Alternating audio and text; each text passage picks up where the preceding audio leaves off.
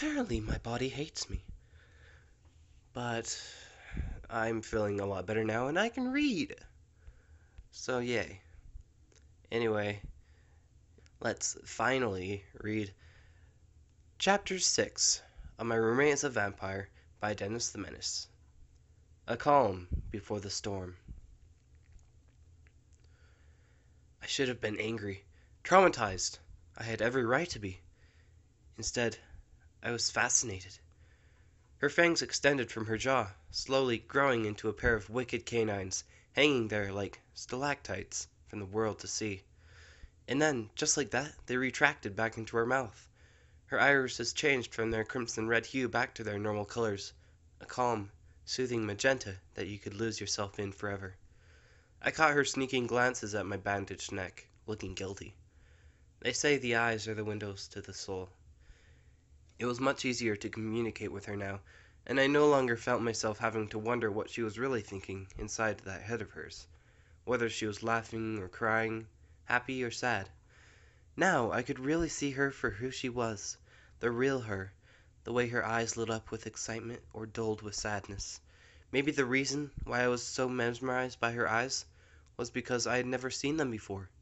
She had kept them hidden from the world behind those signature shades of hers so as not to frighten any pony with her eyes, which had a tendency to accidentally flicker between magenta and red, even when she didn't bare her fangs. And in my humble opinion, I thought they were so freaking cool. Oh my gosh, oh my gosh, where can gonna get some of those. I'm jealous. Pretty cool, right? Vinyl smiled. I giggled. Very, very cool. We continued to munch on our pancakes, which I had made after Vinyl Scratch somehow managed to not kill us both by trying to cook herself. Umpire or not, Vinyl was still a messy eater. Red juices stained her muzzle, dribbling down her chin. It's strawberry jam, I promise. An awkward silence settled over the kitchen, and we found ourselves looking around at the floor and ceiling, unsure of what to say. I coughed. So, um, Vinyl. Yeah? How much do you need to drink? She frowned. Well, I guess normally one blood bag a month. All at once? Nah, I'd much rather drink it with my drink or something. I looked at her, aghast. You haven't slipped that into our meals, have you? A devilish grin spread across her face. Vinyl! I shrieked, pounding a hoof. That is disgusting! Oh, come on, you tried it already doesn't mean I like the taste. So you have, haven't you? Nah. I sighed in relief. Well, maybe once or twice. Vinyl! She chortled. So, have you worked out some kind of deal with the hospital? Is that why they let you have some every once in a while? Her expression darkened. I can't tell you that. Oh, come on now. Is it Vampires Anonymous? She shook her head. I'm sorry. I wish I could tell you, Octavia. It's confidential. I was taken aback. Oh, well, I guess we all have our secrets. I looked bashfully down at my plate and murmured an apology. In any case, I'm sorry about wasting one of them. What? Oh, she waved her hoof dismissively. Uh, don't worry about it. I think I got plenty when I, um, erm. She fell silent, looking away shamefully, you know. Yes, I said, a bit too loudly. When you drank. Yeah. Vinyl cleared her throat and took another bite of her pancakes. Have you ever fed? What? I tilted my head slightly. You know, drank blood from a pony? Oh, Celestia! No, no, you were my first. Vinyl laughed, covering her face. And I've never killed any pony, if that's what you want to know. I sighed in relief, laughing nervously. I can't be living with a murderer, now can I? I wiped my lips. Now, you must tell me how I tasted. Her jaw dropped, and she blushed furiously. Octi, I, I can't. I'm just curious. I laughed. Was I salty or sweet? Bitter? She shook her head. Tell me. No. Please? Vinyl sighed in exasperation, rolling her eyes. You tasted very nice. Sweet. I raised an eyebrow. Like candy? Well, like cough syrup. I couldn't contain myself. I shook my head, laughing, pointing at her, watching her redden even more. This was absurd. This was surreal. Here I was having a conversation with a vampire over pancakes. Are you immortal? Heck no, and I'm glad, Vinyl said, swallowing. I mean, who wants to live forever? There has to be some benefits, Vinyl, I scoffed. Insurance? I gasped. Can you turn into a bat? No, Vinyl cackled. I wish. The usual, I guess. Super strength. To demonstrate, she lifted the couch with one hoof. Just casually lifted the couch with one hoof. My eyes and ears are sharper, and I can smell a lot better. I heal a bit quicker than most ponies, but it's not anything spectacular. And you won't go poof in the sun, will you? I asked worriedly. It won't sparkle, that's for sure. She laughed, shaking her head at my naivety. Octi, it's not like that. It's just really uncomfortable. It might be a nice sunny day for you, but for me, it's really hot. She paused. Octavia, when you said you loved me, I was surprised. You remember? Kinda, she groaned, rubbing her head. It's like there's this huge blank space in my head. One second I was talking with you, and then I was on top of you, and your neck was gushing blood. She shuddered. I've never lost control like that. It must have been scary, I said quietly, idly tracing a pattern into the table. It was awful! She hugged herself. I thought I had everything under control. This curse, I was finally becoming manageable. But now I'm not so sure.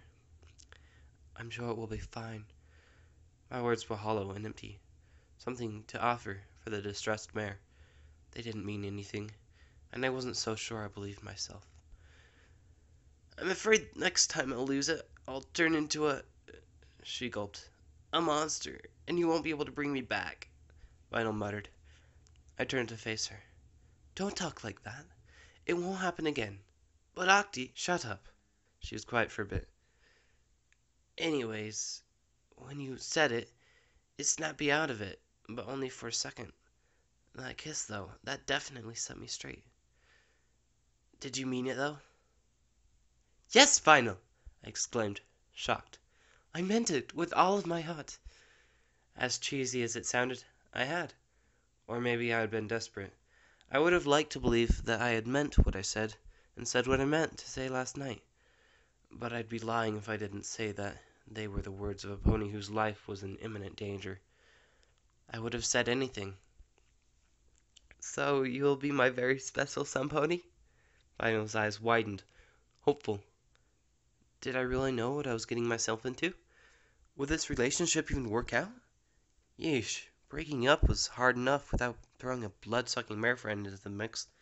The more I thought about it, I realized the only thing stopping me was my lack of faith. While things were more liberal in Manehattan, Canterlot nobility tended to stick to more traditional values, if you get my drift. A filly fooler wouldn't stand a chance, and my mother would definitely not approve. You can't keep living your life according to your mother's standards. I sucked in. Yes, I'd love to be a very special pony. You should have seen the look on her face. She raised her hooves into the air, ready to implode with joy, before I interrupted her. But I stopped her. But you have to promise me something. No more secrets, no more lies. I want to know the real vinyl scratch. You already know so much about me, and I don't know anything about you. Okay, I can do that, she said. Yes! Finally! Oh, sweet Celestia, woohoo! It took six freaking months. What? For you to finally get a clue. For your information, Vinyl Scratch, I was not a complete dolt the entire time, I huffed. I knew that you liked me. I just wasn't sure if I liked you back. I tried being subtle about it. I rolled my eyes. Oh, please. You're about as subtle as Princess Celestia in a banana suit. Yes, yes, yes, yes, yes. Sit down and eat your pancakes. Yes, Mom. She stuck her tongue out. Oh man, I can't wait to tell Ira. I coughed. Uh, Vinyl? Can we keep this under wraps for the time being? She glanced up from her plate. Still in the shed? Some of us aren't as comfortable as you are, Vinyl. You know where we are. Ah, so what? Forget Canterlot. They can kiss my fat flank for all I care. Her flank wasn't very fat. In fact, it was very curvy. Nice to look at. And, oh, I'm getting distracted again. You know what would really get their britches in a bunch? Us kissing. I choked on my orange juice. We should just walk out into the street and start, like, making out. Vinyl! And we should make it extra messy with lots of tongue action. It'd be hilarious. I looked at her with lidded eyes. You know, we don't need an excuse to make out. There was a glint in her eye. She shifted her chair over until she was close, giving me her very own bedroom eyes. Oh, really? She puckered her lips and leaned in. I stopped her, pushing her face away with my hoof. First brush your teeth, and wash those fangs. Ah. I gave her a quick peck on the cheek, and I swear, she just melted. Vinyl agreed that we both deserved a day off. So after making a few calls, she and I were free. Free to do, well, just about anything. She suggested taking a nap. I wanted to cuddle. We did both. A few times I had woken up because she had been hugging me so tight she was crushing the life out of me. After some takeout, we just sat outside in our balcony, watching the Canterlot skyline, and for a while things were all right. I tried to tell myself that it was over, the worst had come to pass. The worst had yet to come. We only have until tomorrow to make you into a papa mare, I reminded her. And we'll start by getting rid of those gaudy sunglasses. She had an entire closet full of sunglasses of all colors and shapes. I think she was more miffed over her broken glasses than the fact that she had tried to kill her with a silver knife. Hey! I snapped them away from her and dangled it out of her reach. She sighed. Dinner with your parents, right? Are you going to tell them about us? I blanched. Absolutely not. They can't know. No pony can know. Not yet. It's bad enough that I'm a filly fooler, Vinyl. If word gets out that I'm fooling around with a vampire. Vinyl shook her head. Bad. Very bad. I've worked too hard to keep this a secret from every pony. So you understand? I understand the vampire part. So what? Are we going to some fancy restaurant? I told her the name. Hey, I thought we got kicked out of there a few weeks ago, she said. Because some pony decided it was a good idea to burp as loud as she could and use a fork and spoon as drumsticks. She waved her hoof. Forget it. What's for dinner? Oh, horse apples. I cracked open the fridge. Hey, do you want the rest of the sandwich? I asked, holding up a plate. She gasped. Okay, anyway, hopefully my voice doesn't suck, and I've gotten over my sickness, yay! Actually, that's a lie. I'm not all the way over it, but it's I've, uh, it's tolerable now. And like I said, hopefully I don't sound like a complete and utter idiot. Uh, what am I saying? I always sound like a complete and utter idiot. So, thank you for watching. Goodbye.